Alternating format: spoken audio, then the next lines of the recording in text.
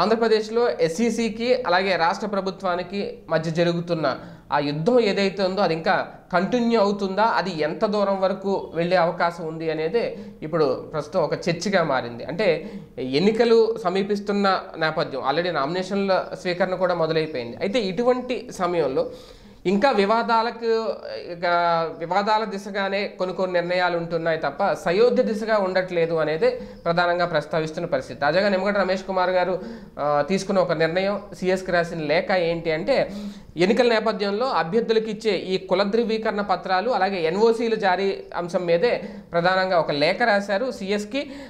అయితే ఆ లేఖలో ప్రధానంగా ప్రస్తావించిన అంశం ఏంటంటే ఈ ధృవీకరణ పత్రాల మీద సీఎం జగన్మోహన్ రెడ్డి గారి ఫోటో ఇమీడియట్గా తొలగించాలి అనేది. ఈ మేరకు తహసీల్దారులకు కూడా ఆదేశాలు జారీ చేయాలి అనేది. అయితే ఇక్కడ ధృవీకరణ పత్రాల మీద సీఎం ఫోటో ఉండడం అనేది ఎన్నికల నియమావళికి విరుద్ధం అనేది ఎస్ఈసి చెబుతున్నమాట.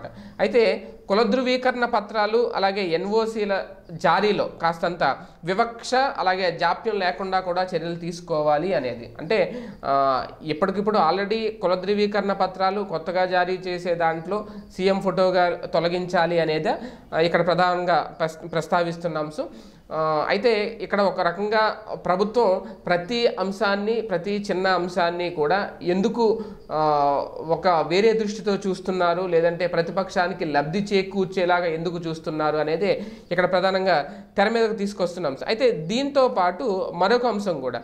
అంటే ఇక్కడ ఒక ఆల్రెడీ మొన్న ప్రెస్ మీట్లో చెప్పడం జరిగింది ఎన్నికల కమిషనర్ నిమ్మగడ్డ రమేష్ కుమార్ గారు. పర్య ఎన్నికల పర్యవేక్షణకు సంబంధించి ఒక యాప్ని రెడీ చేయడం జరిగింది. అయితే దాని మీద ఆ యాప్ మీద ప్రభుత్వం రేజ్ చేస్తున్న ప్రశ్న ఏంటి అంటే ప్రభుత్వానికి సంబంధం లేకుండా వ్యక్తిగతంగా యాప్ను రూపొందించడం వెనక కుట్ర దాగి ఉంది అనే కోణాన్ని బయటకు తీసుకొస్తుంది రాష్ట్ర ప్రభుత్వం ప్రధానంగా.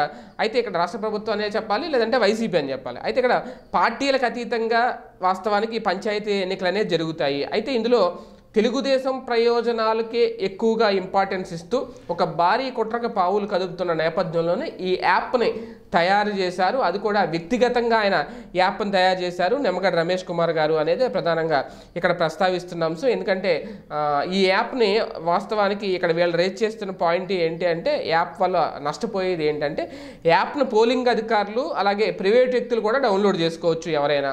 ఒకవేళ ఈ విధానంలో ఫిర్యాదు చేసే ఫిర్యాదుదారుడు ఎవరైతే ఉంటారో తన ఫిర్యాదుకు అనుకూలంగా ఏదైనా ఆడియోలను కానీ వీడియోలను కానీ పంపించే అవకాశం ఉంటుంది. అంటే ఇక్కడ జరిగిపోయిన సంఘటన అంటే జరిగిన సంఘటన జరిగినట్టుగా కాకుండా తమ వాదనకు తగ్గ రీతిలో పంపించే అవకాశం ఉంటుంది అనేది ఇక్కడ ప్రధానంగా అధికార పక్షం రేజ్ చేస్తున్న పాయింట్. అంటే ఫోన్లో యాప్ ద్వారా ఫిర్యాదు చేస్తున్న వ్యక్తి ఏదనుకుంటే అది ఫిర్యాదుకు ఆధారంగా పంపించవచ్చు అంటే ఫర్ ఎగ్జాంపుల్ ఒక ఇద్దరు వ్యక్తులు ఘర్షణ పడితే ఒకరు మాత్రమే దాడి చేసిన దృశ్యాలను యాప్లో పెట్టి తన మీద దాడి చేస్తున్న దృశ్యాలను యాప్లో పెట్టి ఆ- ఆ వ్యక్తి అవతలి వ్యక్తి మీద దాడి చేసే దృశ్యాలను పెట్టకపోతే కనుక అప్పుడు పరిస్థితి ఏంటి అనేది ఇక్కడ ప్రధానంగా ప్రశ్నిస్తున్నారు. అంతేకాకుండా Yeah.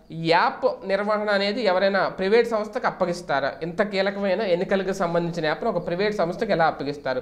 అదే ఆ సంస్థలోని తమ వ్యక్తుల ద్వారా కూడా వాస్తవాల్ని వక్రీకరించే అవకాశం ఉంటుంది కదా అనేది. అంటే సెంట్రల్ స్టేషన్కి వచ్చిన ఫిర్యాదులో ఎంపిక చేసిన వాటిని ఆధారంగా చర్చలు తీసుకుంటే అభ్యంతరం తెలిపే అవకాశం ఉండదు అనేది. అలాగే యాప్ ద్వారా ఈ యాప్ ద్వారా ఎడిట్ చేసిన వీడియో అలాగే ఆడియో రికార్డులు అవే అని రుజువు చేయాలి అంటే వాటిని మళ్ళీ ఫోరెన్సిక్ ల్యాబ్కి పంపించాలి. ఇదంతా ఒక పెద్ద అతిపెద్ద ప్రాసెస్ అన్నమాట. ఇంతలో ఎన్నికల కమిషన్ ఏకపక్షంగా నిర్ణయాలు కనుక తీసేసుకుంటే సక్రమంగా ఎన్నికల ప్రక్రియలో పాల్గొన్న అభ్యర్థులు ఎవరైతే ఉంటారో వాళ్ళందరూ కూడా భారీగా నష్టపోవాల్సి వస్తుంది అనేది ఇక్కడ ప్రధానంగా తెర మీదకు తీసుకొస్తున్న అంశం. యాప్ అనేది ఒక కుట్రపూరితంగా మాత్రమే తయారు చేశారు. అది కూడా టీడీపీకి ప్రయోజనం చేకూర్చి పెట్టేలాగా అనేది. మరి దీని మీద ఒక రకంగా ప్రభుత్వ యాప్ ఏమీ వద్దు అని చెప్పి కలెక్టర్ల సమావేశంలో చెప్పిన నిమ్మగడ్డ ఈయన ఏర్పాటు చేసిన యాప్ ద్వారా మొత్తం పర్యవేక్షిస్తాను అని. అంటే అదే హైదరాబాద్లో కూర్చొని చంద్రబాబు నాయుడు గారు నిమ్మగడ్డ రమేష్ కుమార్ గారు ఇద్దరు కూర్చొని పర్యవేక్షిస్తారా అనేది ఇప్పుడు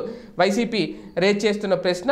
అలాగే యాప్ మీద కూడా ముందు వరకు గోప్యత పాటించి లాస్ట్ మినిట్లో ఎందుకు బయట పెట్టారు అనేది కూడా ఇక్కడ ఒక క్లారిటీ ఇవ్వాల్సిన బాధ్యత ఎస్ఈసి మీద ఉంది అనేది. మరి దీని మీద ఏమన్నా ఎస్ఈసి స్పందిస్తుందా? దీని మీద ఎంతవరకు వెళ్తారు యాప్ వెనక నిజంగా కుట్ర ఉంటే ఎన్నికలు సజావుగా సాగుతాయా? మరి ఏంటనేది కూడా వేచి చూడాల్సిన అంశాలు. ఈ వీడియో గనక మీకు నచ్చినట్లయితే లైక్ చేయండి షేర్ చేయండి. మరిన్ని వీడియోస్ కోసం మా ఛానల్ను సబ్స్క్రైబ్ చేయండి.